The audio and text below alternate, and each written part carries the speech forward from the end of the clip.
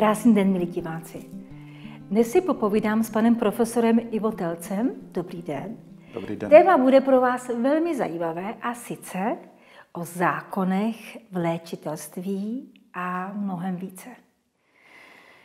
Když jsem od vás dostala kdysi dávno první e-mail a, a nabídku vašich služeb, tak jsem si říkala, no, já v podstatě vůbec o tom nemám přehled a je to nesmírně důležitý téma, mít přehled a vědět. Já se nesmírně těším na toto téma, protože to je takový hodně opomenutý téma, přitom z mého pohledu hodně důležité téma. A sice, jaký máme v současné době práva a povinnosti jako eh, léčitele, a nejenom léčitele, ale lidi pohybující se a pracující s alternativou. Tak se těším na naše povídání, protože vy nám spoustu věcí můžete osvětlit a, a um, hlavně sdělit, co je nejnovějšího v zákonech a v omezeních, bohužel v omezeních eh, v té naší branži. Ano, děkuji za pozvání do vašeho pěkného studia. Víte, eh, celá ta oblast léčitelství a nebo alternativní medicíny, nebo také komplementární a alternativní medicíny je velice rozsáhlá. Co do rozmanitých oborů, to tak zhruba všichni víme asi. Vedle toho ještě existují různé služby, eh, které s tím souvisí, typicky třeba maserské služby, výživové poradenství, to třeba není to léčitelství v tom pravém slova smyslu. Já bych jenom chtěl takhle stručně úvodem říci, že se jedná o činnosti jako kterékoliv jiné.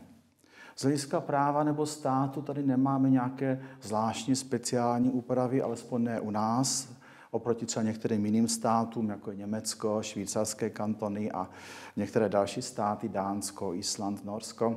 Pokud hovoříme o Evropě, u nás to všechno spadá do volných ohlašovacích živností, což je dobře, možná i trošku do jisté míry nebezpečné svým způsobem, protože potom může tuto činnost vykonovat úplně kdokoliv, kdo se ráno probudí a hýbe se mu v ruce kivadlo, protože kolem projela tramvaj.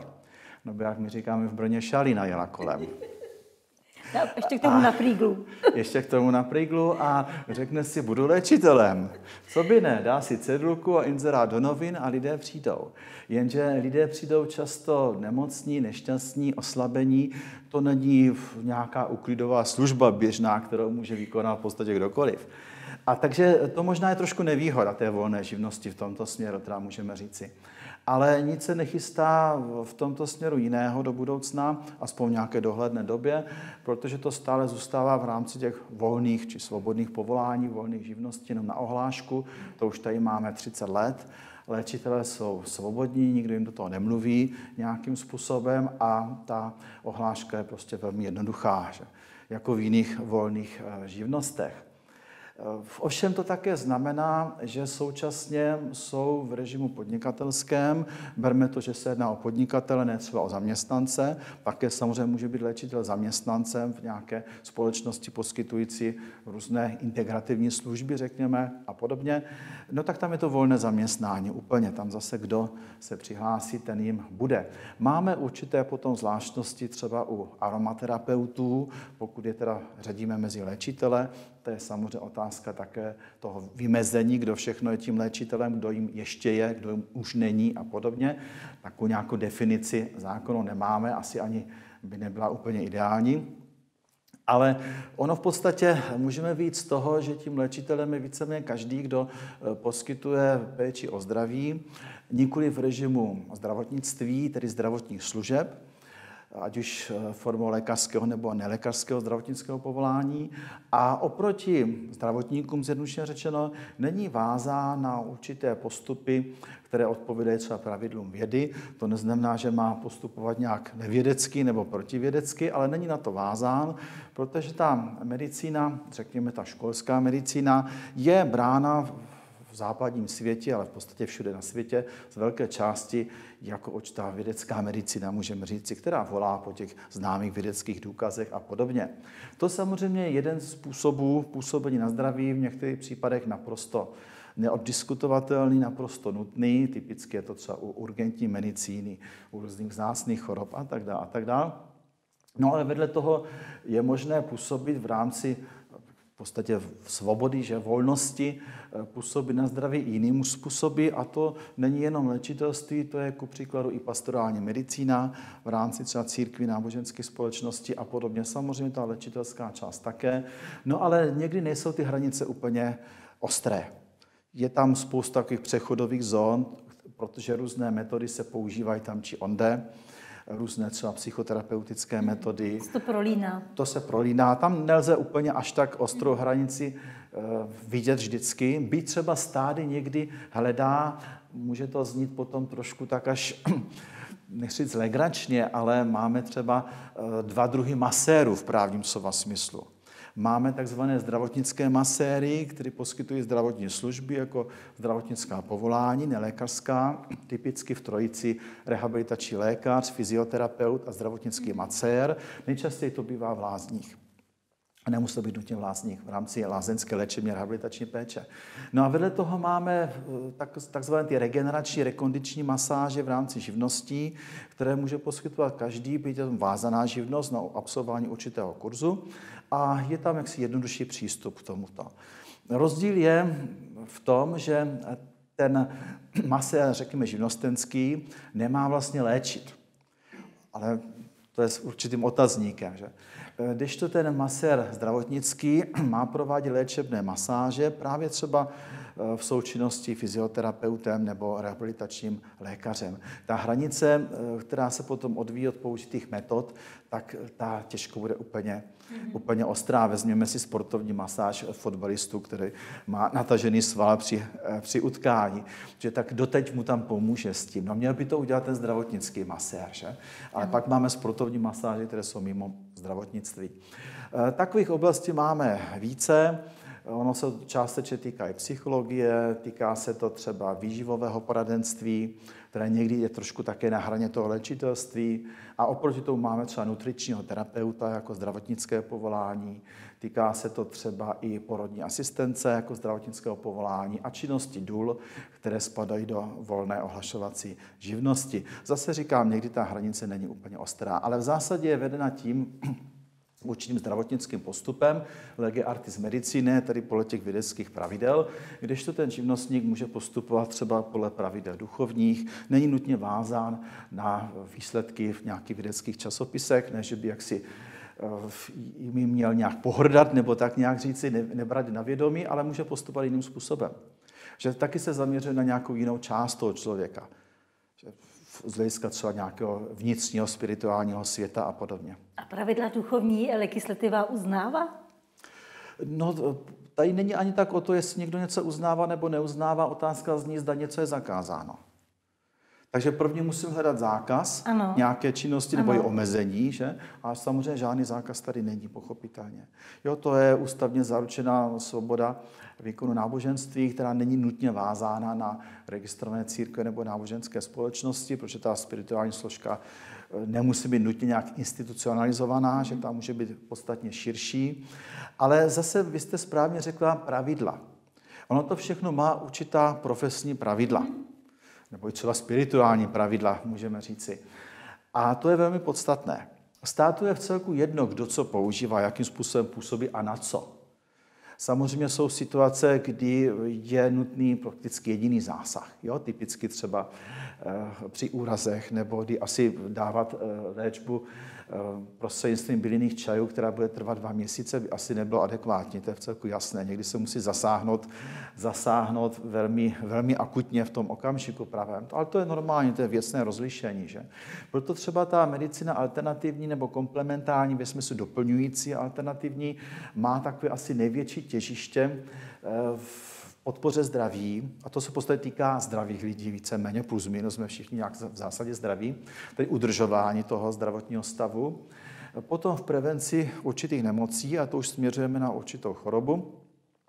V léčbě, v doplňkové léčbě, typicky třeba při chemoterapiích, aby se snížily nežádoucí vedlejší účinky té léčby, typicky třeba tou bylinou léčbou na snížení eh, těch nějakých negativních reakcí organismu, ale máme také různé medicínsky nevysvětlitelné příznaky, symptomy a tady je určitý prostor pro velmi dokonce bych řekl racionální pojetí té komplementární a alternativní medicíny, která je konec konců v řadě zemí západního světa součástí vysokoškolské výuky, není to nic jaksi okrajového.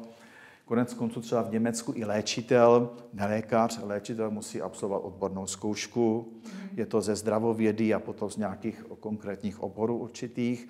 U nás to takhle nemáme, ani se o tom neuvažuje touto cestou, ale jsou slyšitelné i hlasy, které potom docela volají, že by to nebylo od věci, aby léčitelská činnost byla vázána třeba na tu odbornou zkoušku z té zdravovědy, řekněme, eh, protože lépe potom se komunikuje i s lékařem třeba, i ten léčitel, řekněme, takový trošku intuitivní, nemusí, nemusí být úplně znalcem lidského těla dokonale a může tam dojít třeba nějaké chybě interpretační. Že máme orgány blízko sebe různé a teď může být to ten orgán nebo druhý orgán a tak dále. Už tam někdy to rozlišení nemusí být a může potom dojít nějakým v podstatě třeba nějakým falešným informacím nebo nepřesným sdělením a i v rámci nějaké další komunikace to může potom váznout. Ale to se zatím u nás nechystá, ani to se o tom, sice se o tom tu a tam hovoří, ale nebylo to nějak oficiálně na pořadu dne za uplynulých 30 let a není to ani teď pro nějaké nejbližší období. To je ten německý model, řekněme třeba.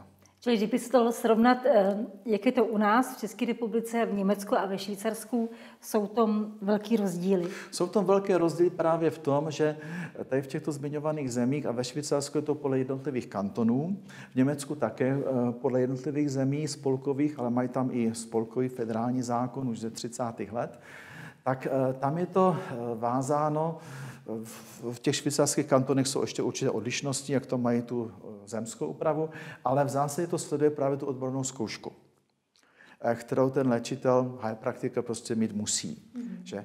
A u nás se to nechce někdy, protože pak se řekne, to je vlastně jakési takové nižší zdravotnické povolání, jak se kdysi říkávalo. My z něho vlastně uděláme toho zdravotníka jistým způsobem. Mm. No a někdo řekne, a proč ne nakonec? A druhý zase řekne, no dobře, ale potom tam potlačíme takovou tu jakousi filozofii léčitelství, řekněme, mm-hmm. toho určitého filozofii zdraví, uzdravování, včetně nějaké aktivní účasti toho nemocného. Eh, trošku tam třeba odsouváme někam tu spirituální složku, už to tlačíme hodně do té ryze somatické nebo psychosomatické zdravotnické sféry, tak nakonec skončíme u nějakých vědeckých poznatků, což ne, že by bylo špatně, ale nám potom může z toho vyskočit i ta, řekněme, trošku ta náboženská nebo ta spirituální stránka.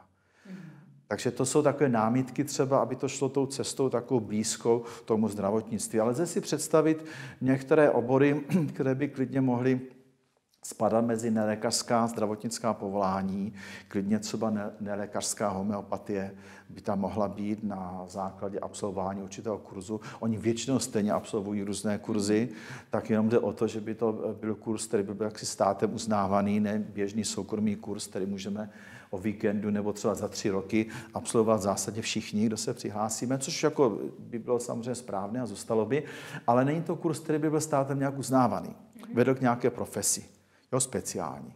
Takže tady jsou takovéto možnosti, které určitě jsou, zejména v oblasti těch nelékařských zdravotnických povolání. Asi bych se tomu úplně nebránil, aspoň v některých případech. Konec konců, proč by bylinář neměl absolvovat nějakou odbornou zkoušku? Zní otázka.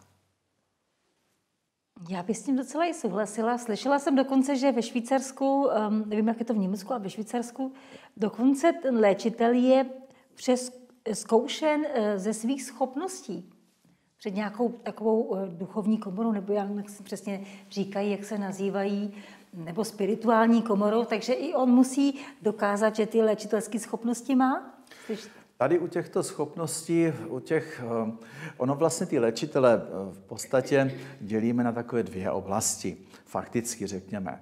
Jedna jsou, řekněme, takový intelektuální léčitelé, kteří to mají naučení, a to teď neříkám jako nějak hanlivě nebo něco. To bývají často blínáři, kteří prostě mají nastudované herbáře, rozumí tomu, nebo i třeba mají nějaké vzdělání prostě v tomto směru, i školské vzdělání, proč by ne.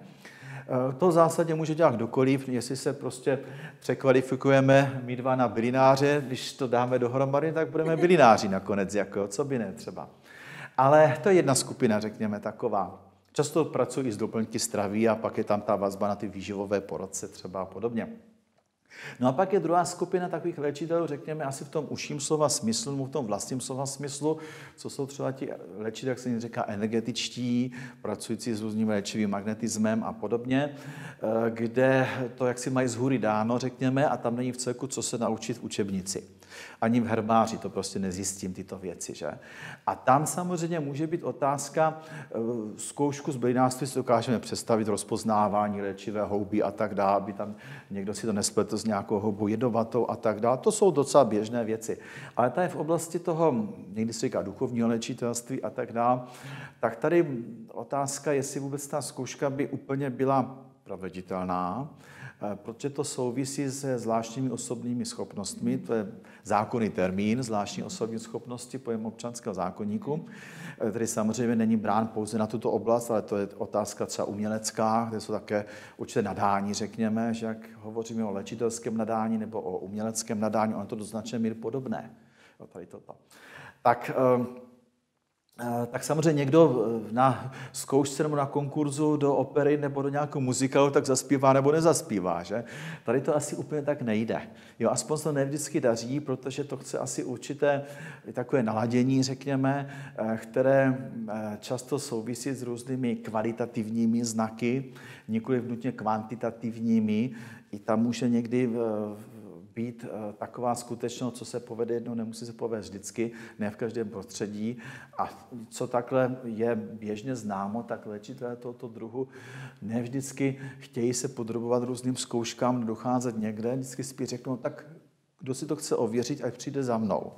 Že ano, to jsou i metody takzvaného kvalitativního vědeckého výzkumu, jak se to dá nějakým způsobem posuzovat, ty výsledky, že také se to posuzuje ve světě, u nás se to dělávalo, Teď moc ne poslední dobou, nějak nejsou lidi, kteří by to dělali.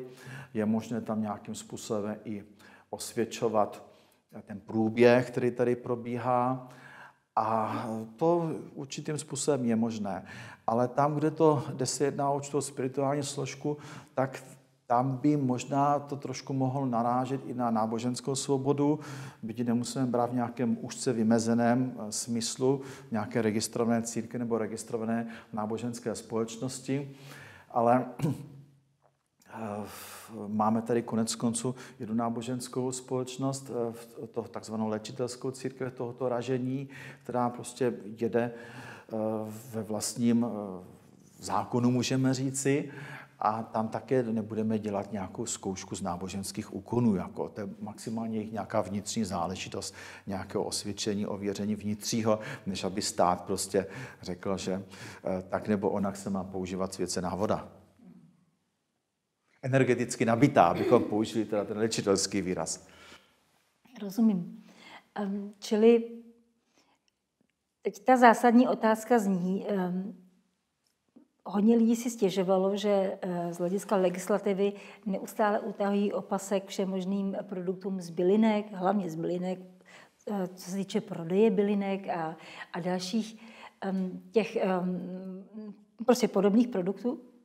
A otázka zní, jestli stát to má nastavený tak, že chce mít víc pod kontrolou všechny tyhle ty činnosti a pozvolna utahuje opasek, anebo jestli to je um, vyvoláno třeba nějakým negativním případem, jak dávno běžela ta kauza, to je možná už rok, eh, v médiích, že teda eh, eh, tam je nějaký léčitel, léčitelka nesprávně léčili. Čili stát to chce mít víc pod kontrolou, tyhle činnosti. A nebo je tady ještě jedna možnost, jestli se nejedná o stát, ale jedná se o koncerny, na které nabízí různá farmaka, čili farmaceutické koncerny, jestli oni se nesnaží nějakým způsobem um, malinko zredukovat ten alternativní trh.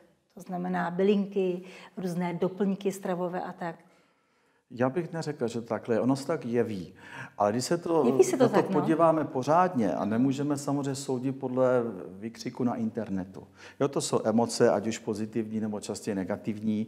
To je strach, který určitý je, Ano. pocit nějakého znesvobodnění a tak dál. Já opakuju, že léčitelé jsou svobodní 30 let tady, tak prostě si nemají na co stěžovat. Tu a tam samozřejmě se může stát nějaký průšvih. A ten se stane kdekoliv. Ano. Ten se stane řidiči tramvaje, ten se stane učiteli, ten se stane lékaři, ten se stane léčiteli. A pokud bychom porovnali, kolik bylo eh, třeba trestně stíháno lékařů a léčitelů, tak je to obrovský nepoměr, eh, ve, my se řekneme ve prospěch, nebo jak to říci, ale eh, mnohem větší problém mají lékaři než léčitelé.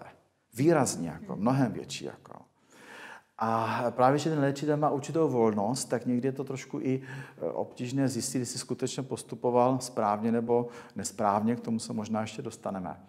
Ale v té vaší otázce je e, vlastně spousta různých podot- podotázek a on to rezonuje tím veřejným prostorem léta. Že samozřejmě pokud je nějaká zvláštní situace, jako nedávno nouzový stav, tak o to více to rezonuje. A samozřejmě nouzový stav je nouzový stav, to je mimořádná situace, kterou nemůžeme brát jako normální, že tady toto.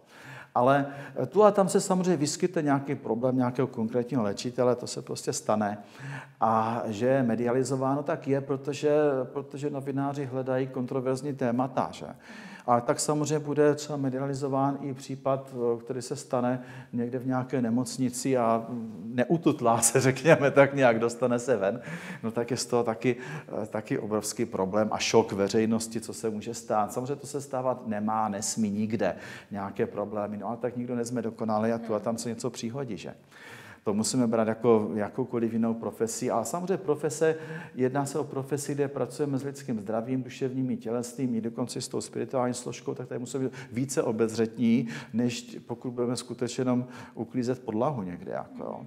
A samozřejmě ta podlaha může být infekční charakter, že? takže i tam eh, bych to nějak nepodceňoval někdy. No, ale vy jste se tady eh, dotkla více věcí, i těch doplňků stravy třeba a dalších. Eh, ono někdy, prosím vás, se hovoří o farmaceutickém průmyslu, farmalobby, samozřejmě to existuje, tak to je podnikání jako jakékoliv jiné. Kdo podniká, tak má zájem, aby se mu dařilo v tom podnikání, aby byl úspěšný na trhu. To je v podstatě normální. Samozřejmě zase s jakousi výhradou tady, že podnikáme v uvozovkách s lidským zdravím, ne s nějakými šroubky. Ale já bych řekl, že máme ještě možná ne, neříkám, že silnější, ale minimálně velmi silnou potravinářskou lobby. A to, to jsou doplňky stravy, food supplements, celosvětově, která prostě ukrajuje a zatlačuje tu farmaceutickou lobby, řekněme, nebo ty výrobce eh, farmaceutik. Potravinářství výrobci mm-hmm. je dokonce někdy až zatlačují, utlačují a u nás speciálně moc. Až moc. A mohlo by nám to být v zásadě jedno, ať spolu nějak soupeří na trhu. No není nám to jedno z hlediska pacienta nebo vůbec nemocného člověka. Protože pro nemocného člověka, ať mu budeme říkat pacient, to je termín zdravotních služeb, nebo vůbec prostě, v léčitelství klient třeba říkáme, ale bereme to jako nemocný člověk, tak to samozřejmě z jakýchkoliv přípravků, které on bude používat, eh, zajímají pochopitelně z hlediska účinnosti a bezpečnosti může zajímat v zásadě cokoliv, ale je pro ně mnohem výhodnější, pokud eh, jsou mu medikována nebo jakkoliv doporučena, eh, doporučené léčivé přípravky. A to z toho důvodu, že se u nich uvádí léčebné indikace, tím pádem i kontraindikace, tím pádem i různé nebezpečné účinky, třeba vedlejší, tím pádem třeba vliv na řízení motorových vozidel a řada dalších prostě údajů, známe to z běžných příbalových letáků, to jsou eh, povinné informace, které jsou, musí být i dostupné elektronicky přes internet a to je všecko u léčiv. U nás je registrováno asi 212 fitofarmak jako léčivých přípravků. Často se, nebo ve většině se jedná o tradiční rostlinné léčivé přípravky. A jak to často bývá, tak ve skutečnosti, myslím teď tu právní skutečnost, protože mě jako advokáta zajímá, jestli zavřou klienta nebo eh, klienta i se mnou, pochopitelně. Takže my musíme vždycky říct na to, eh, co teda platí v tom právním slova smyslu, nejaké jsou zde domněnky nebo fámy nebo nálady ve společnosti. Neděláme nějakou sociologickou anketu a řešíme třeba konkrétní případy, konkrétní spory, konkrétní pokuty a konkrétní vězení. Třeba když to řeknu samozřejmě až do konečných důsledků. Že? Tak eh, nás tam zajímá eh, celá řada věcí a jedna z nich je ta, o jaký výrobek se tady vlastně jedná na tom trhu. A je to řešeno tak, že máme eh, tradiční rostlinné léčivé přípravky, fitofarmaka, vedle fitofarmak nikoli v tradičních, to znamená třeba nových, nově nějak zjištěných, objevených, ale ten rozsah těch tradičních je velice rozsáhlý. U nás těch fitofarmak je asi těch 212, jak jsem říkal, plus minus eh, něco, eh, kolik je u nás registrovaných na státním ústavu pro kontrolu léčiv. V Německu jich asi 1200. Takže vidíme ten obrovský nepoměr, který tady je. A vedle toho samozřejmě jsou registrovaná homeopatika, u nás jich je nějak asi 760, v Německu zase přes tisícovku, asi 1200, a ještě zvlášť v Německu jsou registrovaná antropozofika, podle antropozofické medicíny, která, u kterých je taky asi 1400 registrovaných plus minus. A u nás antropozofika nejsou brána jako nějaká speciální léková kategorie. Pokud se vyrábí po homeopaticku, to znamená homeopatickým ředěním, tak spadají pod homeopatika. Pokud se vyrábí jinak, pak pod běžné léčivé přípravky. Ale co tím chci říci? Chci říci to, že ta celosvětová cesta je více akcentovat léčiva. A pozor, a to léčivý nerozumíme jenom umělá chemofarmaka. Nové chemické sloučeniny, eh, často s dosti závažnými vedlejšími účinky, eh, s velmi složitým nákladným a náročným klinickým hodnocením, protože se jedná o nové sloučeniny, tak samozřejmě musíme vědět, co to udělá s tělem, co to udělá i proti, jaké budou lékové interakce a tak dále, a to trvá delší dobu. Ale v Evropské unii a bývá to i v celé řadě jiných světových zemí, bych řekl, nikdo nic nemá proti tradičním rostlinným léčivým přípravkům, proti herbální medicíně. Ta je velice podporována i Světovou zdravotnickou organizací, která samozřejmě je celosvětová a netýká se jenom rozvojových zemí, pochopitelně, protože oni to podporují jinde. Ono to často bývá um, i zajímavé farmakoekonomicky, protože to bývá ne vždycky samozřejmě, ale bývá to často méně nákladné.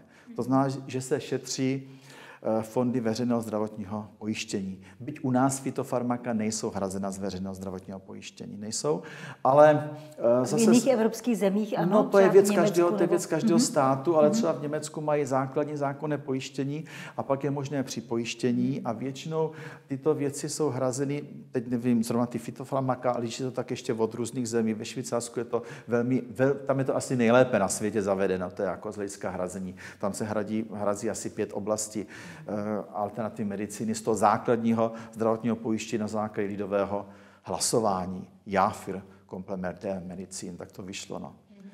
A změnili ústavu kvůli tomu. To je úžasný. U nás to nejde, protože eh, takové lidové hlasování u nás není dovoleno. Ne kvůli tomu, ale vůbec. Protože by ještě lidi hlasovali o, o něčem a, a tak dále.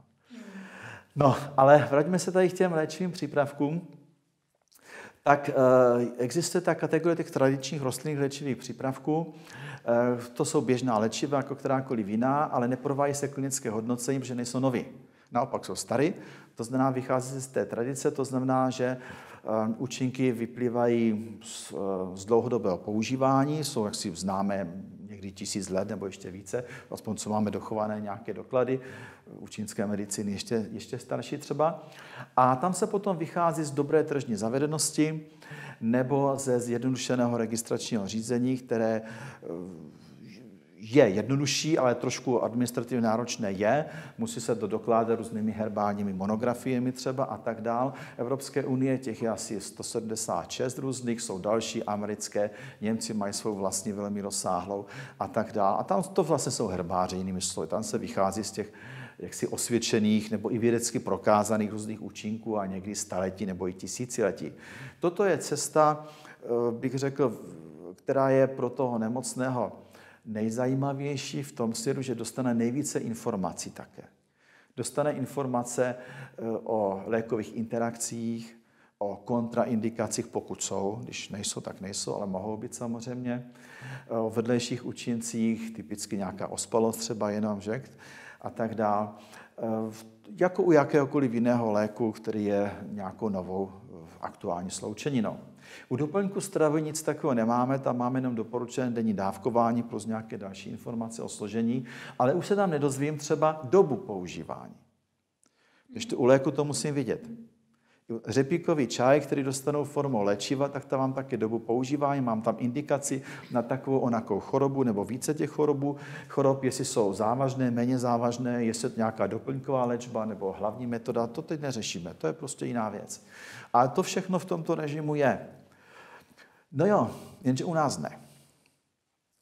U nás ne, a teď zní několik závažných otázek, proč ne.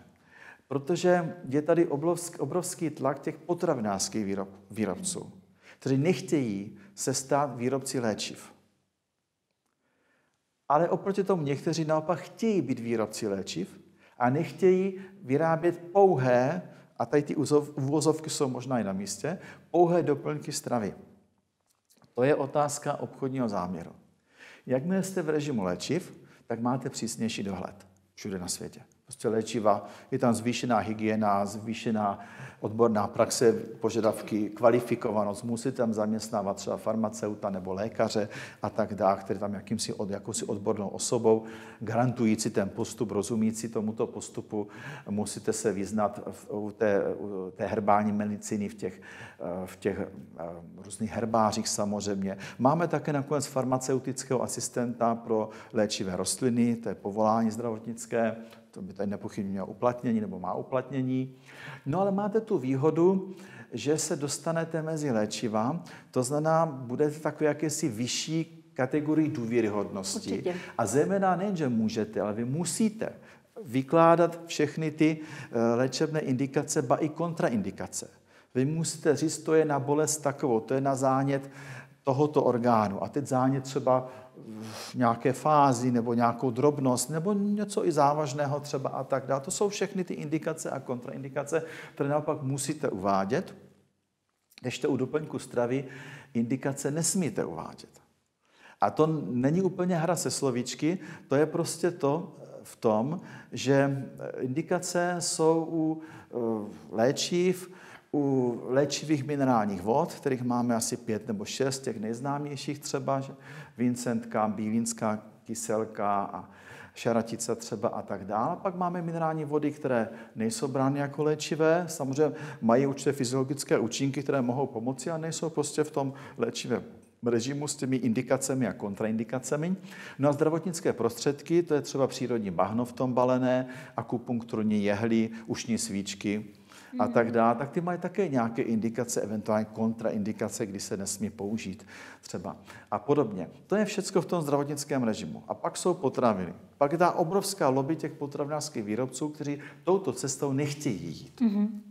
Protože je to pro ně jednodušší nejít touto cestou. Mm-hmm nemusí mít ten přísný režim toho dohledu státního ústavu pro kontrolu léčiv, nemusí vyplňovat ty registrace, které jim třikrát vrátí, protože jim chybí ičo a tak dál. Ovšem, kdo to umí vyplňovat, tak to udělá téměř poslepu, tady toto, a ví, ví své samozřejmě těch různých řízeních a těch dokladech.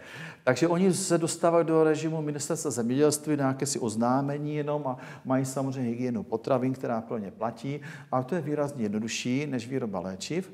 A podívejte se třeba na naše největší výrobce rostlinných léčivých přípravků, to je Leros a Megafit, a pravděpodobně největší asi, o nich je celá řada, nebo takový nejznámější, řekněme.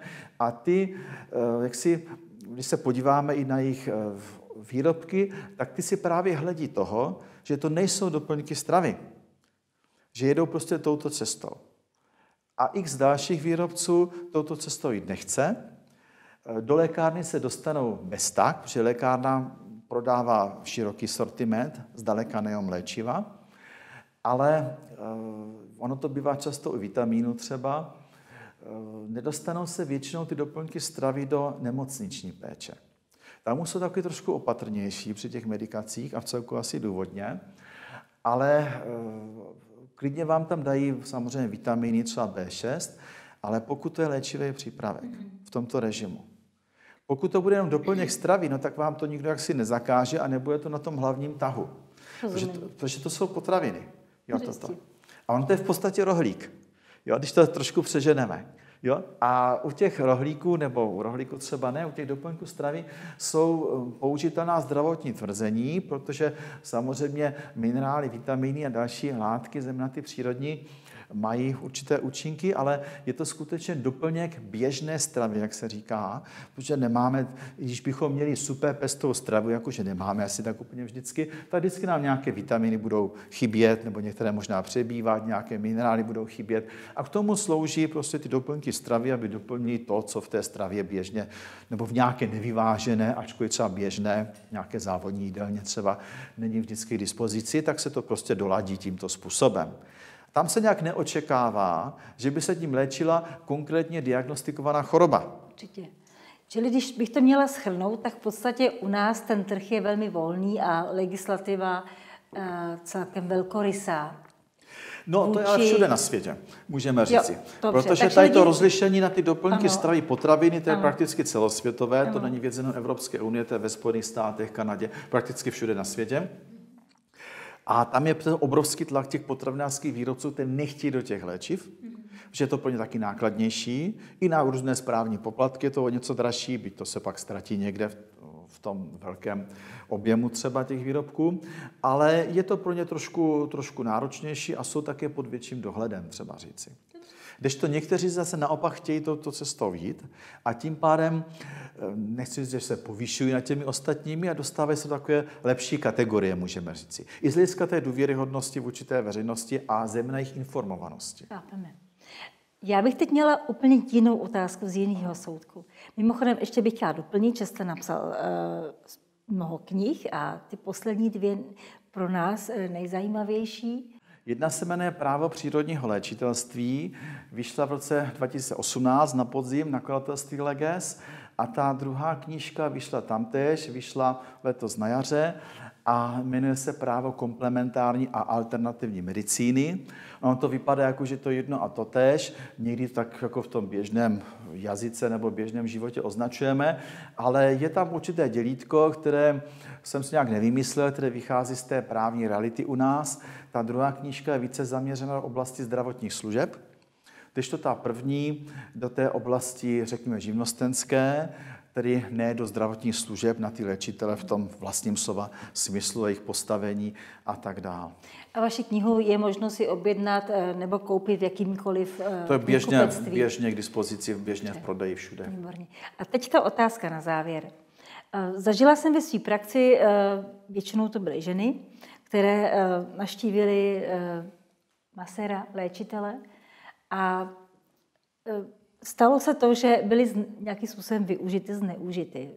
Buď teda fyzicky, když to řeknu e, úplně otevřeně, jako že byly znásilněny.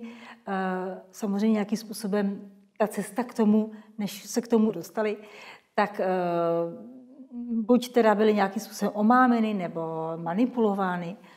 Prostě zažila jsem ženy, které zažily velmi nepříjemné situace s, e, s léčiteli nebo s maséry. Když taková žena ke mně přijde, nebo mi to sdělí, e, co jí mám poradit, na koho se může obrátit, když byla nějakým léčitelem nebo podobným člověkem v této branži byla nějakým způsobem využitá, zneužitá, nebo e, ty služby jí nebyly poskytnuty tak, jak správně by měly být poskytnuty. To Co takový se... člověk má dělat? Tak můžu třeba uvést konkrétní příklad? Můžete jistě. No. Jedna paní chodila k jednomu léčiteli, který mm, eh, nejdřív teda eh, eh, léčil její tělo, musela se slíknout do naha úplně kompletně a říká, že to je nezbytně nutné pro, pro léčbu. A samozřejmě při léčení teda se jí dotýkal, čili dotýkal se jí těla No a pak měla pocit, že ho začíná čím dál víc milovat, eh, čili začala probíhat manipulace, on byl v té manipulaci velmi zběhlý. A stalo se to, že při třetí návštěvě došlo teda eh, ke zneužití té ženy. A ono potom, když, když vlastně nějakým způsobem ji použil, tak se to stalo jenom jedno a pak nějakým způsobem už nechtěl, aby docházela tak ji odstřihl od sebe a té ženě začalo všechno docházet, co se vlastně stalo. A teď s pláčem nevěděla, kam a na koho se má obrátit. Že byla zneužitá eh, v těchto službách. A takových lidí je vícero. To se že může stát. Zase bych řekl, není to nějaké specifikum léčitelství, to může se stát i v masérství. Tak jsem právě to se, ještě... Ano, to se může stát i při nějaké tělesné výchově, při nějaké gymnastice ano, ano. třeba, a taky se to, že tu a tam stává ano. tyto věci. On musí mít souhlas, že jakémukoliv zásahu do integrity, ať už tělesné nebo duševní, takže on bude muset prokazovat ten souhlas. Jako prokáže, no těžko. A co když, co když teda eh, tvrdí, že ona mu dala souhlas a ona se to Tak bude tvrzení proti tvrzení. No takhle, to bychom museli řešit asi konkrétní případ, ano, samozřejmě ano, ano. tady toto, Rozumím. jak to tam jako je. Čili je možno se obrátit potom na právníka. To je úplně běžný, jako, ano. no běžné, no žel, běžné jako kdekoliv jinde, že tady eh, to je prostě eh, proti jakékoliv manipulaci ze strany poskytovatele nějakých služeb, ať už je to potom manipulace s tělem nebo, nebo nějaké psychické ovlivňování, třeba on to někdy bývá obojí třeba, ano. že a tak dále tak to, eh, to samozřejmě je tady, jsou ochranné eh, mechanismy jako u každého zákazníka, jenom tak jako pro informaci, eh, je tady mimo soudní řešení sporu přes Českou obchodní inspekci. Nevím ta, nakolik třeba takovéto věci by tam úplně pro ně byly, to jsou spíš takové ty platební záležitosti nebo nějaké další, reklamace, další, řekněme, takové jednodušší, řekněme. Ale tady už to zavání trestnou činností, to už není pro Českou obchodní inspekci, jak, jak jste naznačovala, že? No tak potom to se šetří běžnými kriminálními způsoby, že je tady samozřejmě soudní ochrana v rámci osobnostní ochrany, ta nesouvisí s nějakým trestním postihem třeba, ale vždycky to je potom odvisí od dokazování.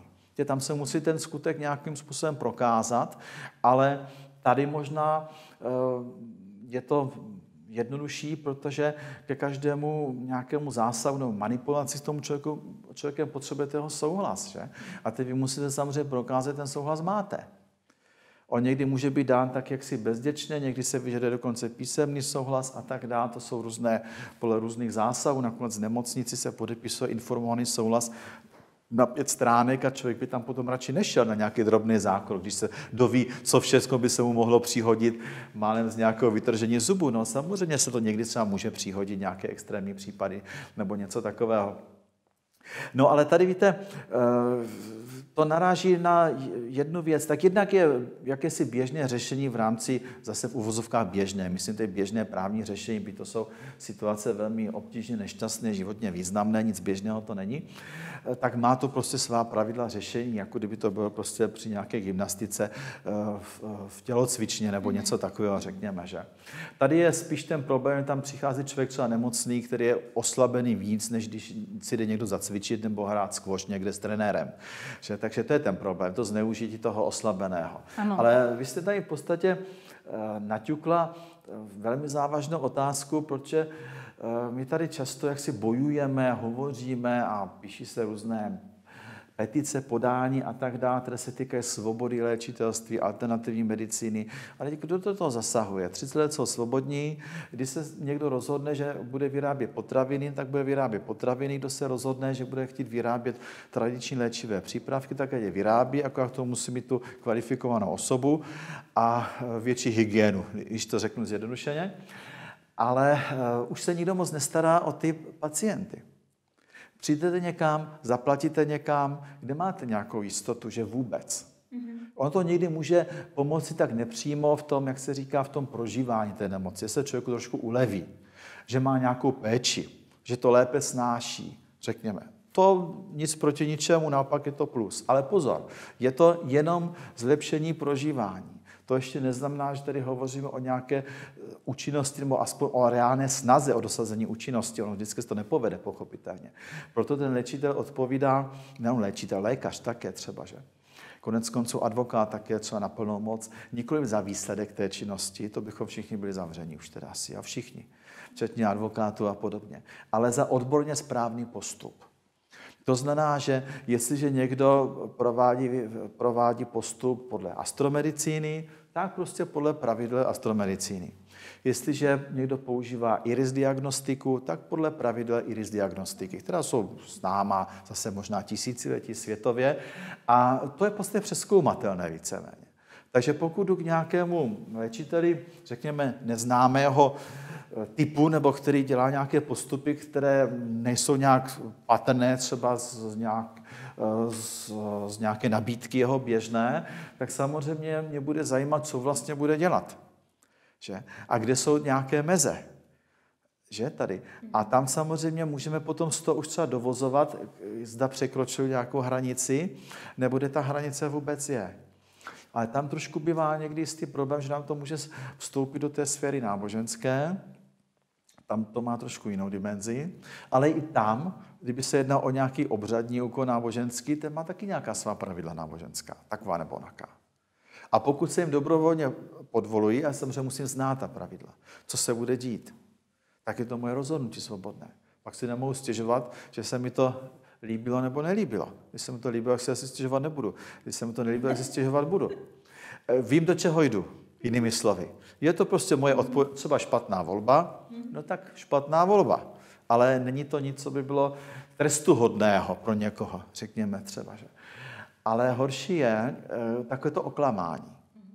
Ne, že jsou jasná pravidla, jdeme do toho, bude to pro vás to nebo ono, chcete nebo nechcete. Když odejdete, nikdo se vás nebude zlobit, nebo řeknete ne, odsuď pocud, nikdo se nezlobí. Tak uh, horší je takové trošku to oklamání, včetně určitého citového vydírání, které tam může být navozování nějakého takového pseudoterapeutického vztahu až závislosti třeba, že a vlastně to se často týká i nějakých poruch trošku psychosomatických. Teď se bavíme možná o sektách. No, tak může to, souviset, může to souviset i s něčím takovým, samozřejmě nutně nemusí, tam nemusí být nějaký vůbec nějaký náboženský aspekt, jo? no tak pak je to prostě podvodník, jiným slovy tak který zneužívá toho nemocného člověka, jestli je to dítě, muž nebo žena, to je v tomto smyslu jedno, teda, jako, kdo je ten zneužitý. On může být zneužitý tak jenom, že zaplatí tisíc korun, 500 korun nebo něco, nebo naopak platí třeba postupně, chodí tam a výsledek naprosto žádný. Ne, že se ho nepodařila nějaká léčba, to se stane i v běžné školní medicíně někdy, že na někoho něco nezabírá, že, že zkus, tak zkusíme druhou mast, jako, co, co naděláme. Že? To je právě i individualita toho pacienta, která se může lišit od všech standardů, které jsou jenom jakýmsi běžným průměrem, tak lidé jsou různí. Že? Tak to je jiná věc, jo, tady toto. Ale i tady je prostě nutné, proto třeba občanský zákonník klade takový, takový důraz na odbornou péči, znalost a pečlivost, a u smlouvy o péči o zdraví, široko rozchodné, jaké, jakýmkoliv způsobem, eh, také na pravidla svého příslušného oboru. To znamená, že ten, kdo poskytuje jakoukoliv službu tohoto rázu, masérsko, léčitelsko nebo obojí třeba, řekněme, také máme takové případy, kde se to kombinuje třeba různým způsobem, tak musí jednat znale a pečlivě, znale podle nějakých technik, můžeme říci, a podle pravidel svého oboru, jak jsem řekl, pokud dělá iris diagnostiku, tak tam jsou, Jistě. na to jsou učebnice. Mm-hmm. a je to v podstatě i reklamovatelné, pokud nepostupoval tímto způsobem. Navíc ještě tam máme třeba tu jednu věc, která se ani trošku zapomíná. U péče o zdraví od roku 2012 eh, jsou státem stanoveny povinné záznamy o té péči s účinností od 2014. Eh, nemyslím zdravotnickou dokumentaci v medicíně, ta běží po vlastní linii, ale běžné zápisy, ale není to povinné, respektive se mohou ty strany, no takhle, já není, ty strany se mohou domluvit bez záznamu. Prosím vás, potřebuji tady hebnout s ramenem, nebudeme teď sepisovat nějaký rodný čísla, jako, nebo, nebo něco. Velmi to zjednodušuji. Tak je to, je to naše nějaká dohoda daná na důvěře. Ale x léčitelů, a to z doby ještě před tím rokem 2012, skutečně si ty záznamy vedlo, protože typicky třeba brinář dává nějakou mm-hmm. recepturu, ano. A teď já si to moc nepamatuju. Teď ještě mám to jednou vyluhovat, potom odvar takový onakej, e, za pět dnů to mám dělat v obráceně, nebo je, tak si to nepamatuju. Třeba ani jako zákazník běžně. Navíc ještě je člověk nějaký oslabený, no tak je rád, když ten, e, ten určitý recept nebo tu medikaci v širokém slova dostanu napsanou a co mám dělat pátý den, že to mám dělat jinak. Jo, tady toto. No, on si o to nechá kopii, já tam přijdu za tři měsíce, tak už taky nemusí vědět, jak mi to přesně říká. To si nemusí pamatovat. Jo, to je spíš v jeho zájmu. Takovéto případy prostě byly, byly prostě v podstatě vždycky, no, aspoň v nějaké dohledné minulosti, kdy ten léčitel si prostě ten záznam udělá, byť třeba sám pro sebe. Samozřejmě ten zákazník má právo na jeho kopii a často ji chce, tam má složení třeba nějakého čaje, který se má udělat a podobně. A byla tady taková tendence, že by měly být ty záznamy povinné, není, toto cestou se teď nejde, nechává se to tak, jak to je, že to je jaksi dohoda těch stran, ale jak si samo sebou ten klient má nárok, aby ten záznam byl, aby si taky ho odnesl třeba. Jo, a jestli, pokud se fakt nedomluví, hele, hlavně prosím vás, mě řekněte něco a já spěchám na vlak, jako jo, nic nesepisujte, nechci nic no tak je to jeho věc. Mm-hmm. Pak zase nemůže přijít něco reklamovat, že si to nepamatuje, nemůže, že mu to řekl špatně, bude tam nějaké tvrzení proti tvrzení, co mu do toho řekl, co má dělat. Neřku, jestli na něho sáhl nebo nesáhl, že? Ale ono často to je taková jakési možná varování. Pokud někdo a priori odmítá tyto záznamy, tak si můžeme položit otázku, proč. Jo, mohu mít smluvní podmínky bez záznamu. No mohu. Ale ptám se otázka, proč. Jo, protože to je ve prospěch toho zákazníka. Jo, tady toto. Že a teď někdo se trošku může smát a tak tam napíše co? Že kývadlem zjištěno? Ano, on tam napíše kývadlem zjištěno. Co by tam měl psat jiného? On nedělá laboratorní rozbor krve. No tak to tam napíše. Obor jako obor. Jeden používá to, jeden používá to. Státu je to jedno, co kdo používá. Pokud to není falešný, klamavý, pochopitelně, pokud je tady aspoň nějaká naděje ve snaze o dosažení výsledku, nějaká reálná naděje, tak cesty jsou různé. A v se to liší, liší od základní otázky, jak chápeme toho člověka. Pane profesore, co byste divákům doporučil úplně na závěr? Co je z vašeho hlediska pro diváky tak jako nejdůležitější v rámci eh, vašeho působení a vašich znalostí? Víte, tak uh, už jsme si řekli, že léčitelé a podobní eh, praktici, řekněme v tom širším slova smyslu, jsou tady 30 let svobodní a nikdo je nějak neohrožuje. Něco jiného potom, kdo vyrábí nějaké přípravky, tak je v nějakém režimu potravinářském, lékovém, kosmetickém, to je trošku jiná otázka tady toto, ale to je jakýkoliv jiný výrobce prostě, to se týká zejména bylinářů, takových těch malých bylinářů třeba, to je takový specifický problém, ale e, musí se vycházet z toho, e, co se tím vlastně sleduje a co je ta úloha státu. Úloha státu je v tomto případě nezasahovat do těch soukromých poměrů, že každý si dělá, co chce, ale současně musí chránit dvě věci. Musí chránit veřejné zdraví, což tady také může u nějakých epidemiologicky závažných činností přicházet v úvahu. A to je jedna stránka. A druhá stránka musí chránit tu slabší stranu. A to je ten nemocný člověk. Tady musí mít dostatečně silné postavení, aby se mohl ubránit, když ne on, tak prostřednictvím advokáta, pod soudní ochranou, pod inspekcí různou a tak dále, veřejnoprávní, eh, protože eh, je ve styku s odborníky, kteří ovšem nejsou nějakým, státem, nějakým způsobem státem přeskoušení, řekněme, byť by to byla nějaká jednoduchá zkouška ze zdravovědy, který něco tvrdí, který mohou tvrdit, že mají různé zvláštní osobní schopnosti, Eh, ano, to může, to může tvrdit eh, o sobě i nějaký houslista, dokud nezahraje, tak to nevíme. No a tak eh, jak zahraje takový léčitel? No nějakým způsobem zahraje v uvozovkách, ale víme to nebo nevíme? Vždycky může potom se objevit něco, že jste to pokazil vy nebo něco takového, protože jste si dal potom pivo nebo něco jako, jo? No může být třeba, ano, že to je nějaká kontraindikace s alkoholem a tak dále, může být samozřejmě a je potom někdy snaha to hodit na toho, na toho klienta a ještě se do toho zamotá taková nějaká divná spirituální stránka a ten na to může být ještě hůř, než byl předtím. Jo, takže my teď, cesta, by byla určitá cesta. Kdyby existovaly třeba různé eh, odborné společnosti léčitelské a eh, to je cesta, která se říká taková etická samoregulace, takové trošku škardý slovo. To znamená, že oni sami si dělají pořádek ve svých řadách. Ovšem to nejsou nějaké nucené svazky. u nás? No tak existují různé společnosti, které mají různé etické kodexy odborné, které mají různá pravidla. Třeba je to velmi rozvinuté v oblasti aromaterapie, která je dokonce možné udělat státem uznávanou zkoušku z aromaterapie, státem uznávanou zkoušku, tak daleko až, což je dobře zase. Jako, jo. Ale to není možná ten hlavní proud, jo, tady toto. Eh, tak eh, pak to zůstalo na těch odborných společnostech, Eh, některý se do toho nechce jít, protože nechtějí přebírat nějakou určitou garanci, eh, být možná takovou široce společenskou za jednotlivé členy, ale oni mají nebo mohou přijmout určitou garanci za určitý postup aspoň. A ten postup samozřejmě musí mít nějakou reálnou naději na úspěch.